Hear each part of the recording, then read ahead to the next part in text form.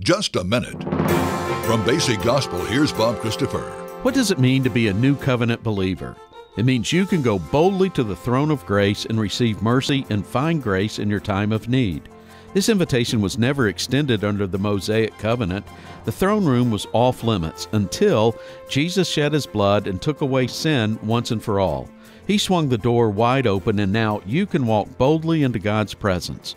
Even when you're in the midst of sin or are overwhelmed with fear, guilt, and shame, the invitation stands. The throne of grace is open. So go in with confidence. Grace and mercy are waiting. I'm Bob Christopher, and that's just a minute. For more daily encouragement to help you grow in God's love and grace, visit basicgospel.net.